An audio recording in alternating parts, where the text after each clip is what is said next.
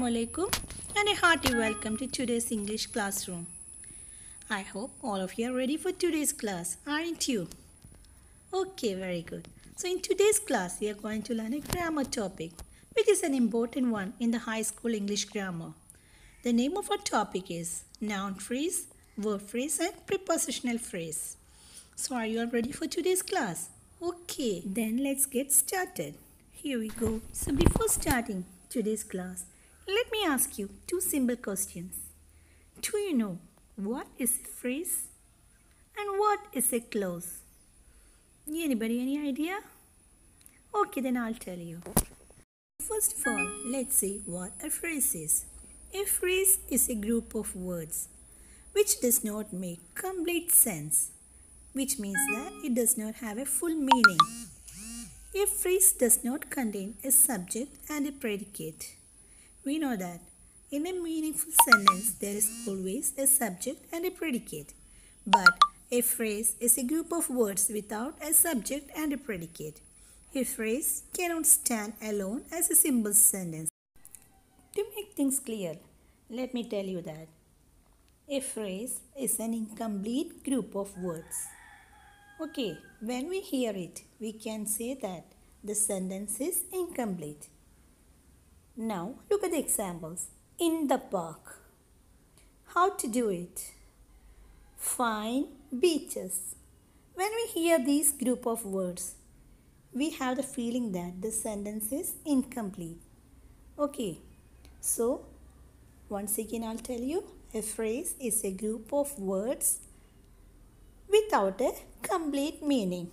When we hear it, we have, we have to feel that the sentence is incomplete. Okay, so a group of words without complete meaning is called a phrase. Now, look at what, let's see what is a clause. A clause makes complete sense, whereas we learned that phrase does not make complete sense. Secondly, a clause contains a subject and a predicate. So, there is a subject and a predicate. Third one, a clause can stand alone as a simple sentence. So, since it has a subject and a predicate, it can stand alone because it is complete sentence. Okay, now look at the examples. Who gave you a book? You have made a mistake. That is made of gold. All these sentences have a complete meaning and therefore they are independent and can stand alone. Whereas a phrase does not have a complete meaning, so it is dependent and it cannot stand alone.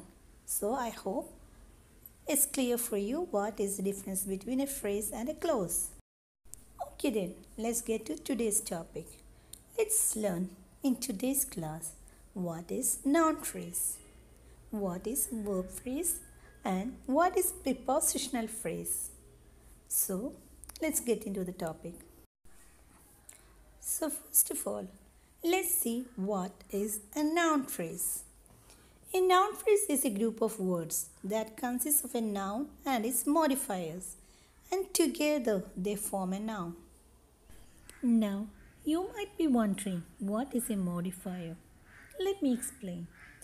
A modifier is a word, phrase, or clause that describes something or makes it more specific. Okay, so it can be a word, it can be a phrase, or a clause. And what is its duty? It is describing something or it is making something more clear to you. Modifiers function as adjectives or adverbs in a sentence. So their role is to describe it. Okay, it may function as an adjective or an adverb. Now let's see few examples then everything will be clear to you. Look here. Expensive cloak. Cloak means a long outer garment worn over the shoulder like a hood. Okay, so here the word expensive is functioning as a modifier. It is modifying the cloak. Okay, look at the second example. It flapped gently. So we know that an adverb tells how an action is done. He ran fast. How did he run fast? She sang sweetly. How did she sing sweetly? So, adjectives, sorry, adverbs tell you how the action is done. Now look at this one. It flapped gently. How did it flap gently? So here the function is of that of an adverb. Now once again coming back to noun phrase. So now you got an idea what is a noun phrase. Okay, so once again a noun phrase is a group of words that consists of a noun and its modifiers. So in the case of a noun phrase, a noun is preceded. Preceded means before the noun we can see a modifier or a determiner. I hope all of you remember what is a determiner. Articles, possessives and demonstratives together are called determiners. So, if an head noun is preceded by any of these, then it is called a noun phrase. Now look at the example. The full-blooded cobra was slithering slowly on the doctor's arm. Here, our head noun is cobra. And look at the words that preceded the cobra, the full-blooded. Okay, so we can see a demonstrative and we can also see adjectives before that. We can see a demonstrative, we can see a quantifier and an adjective before the head noun cobra. Okay, so together the full-blooded cobra makes a noun phrase. Now look at the second example. A single-roomed apartment was rented by the doctor. Now, a single-roomed apartment is our noun phrase. Can you tell me which is the head noun? Very good, apartment. Okay, apartment is our head noun. And look at those words a single roomed is the modifier isn't it it is modifying the noun apartment. Okay again we can say that a is an article. Single roomed can be considered as an adjective. And so a single roomed apartment is a noun phrase in this sentence. Okay so i hope all of you are clear with what is noun phrase. Now let's see what is a verb phrase. A verb phrase is a group of words that consists of a main verb and any of its modals or auxiliary verbs. Okay, so it, there will be a main verb in the sentence as well as any of the modal verbs or the auxiliary verb. Now, I hope all of you know what are modal verbs.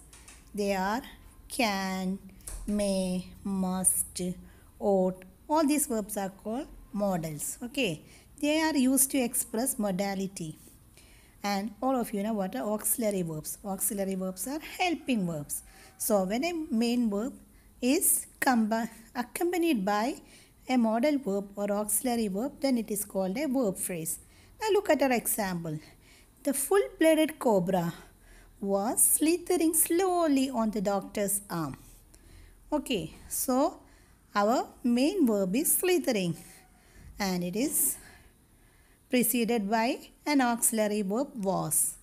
So it is a verb phrase. Look at the second sentence. A single roomed apartment was rented by the doctor. Rented is our main verb and it is preceded by the auxiliary verb was. Okay. So I hope you got an idea what are verb phrases. Now let's see what is a prepositional phrase. A prepositional phrase is a group of words consisting of a preposition, object and any modifier. Okay, I hope all of you remember what is a preposition. Preposition is a word that is used to show the relationship between words in a sentence. It is used before a noun or a pronoun. Okay, in, on, at, under, above, all these are prepositions in English. Now, so a prepositional phrase is a group of words consisting of a preposition, an object will be there and a modifier will be there. Now look at the example. The full blooded cobra was slithering slowly on the doctor's arm. So, on the doctor's arm is the prepositional phrase in the sentence. Now look at the second one. A single roomed apartment was rented by the doctor. So, by the doctor is the prepositional phrase in the second sentence. I hope that is clear for all of you. Now it's time for today's assignment. I have given few sentences below. Find out the noun phrase, verb phrase and prepositional phrase from these sentences. Okay. So, I think it's time for us to wind up. So, see you in next class. Until then, take care and bye-bye.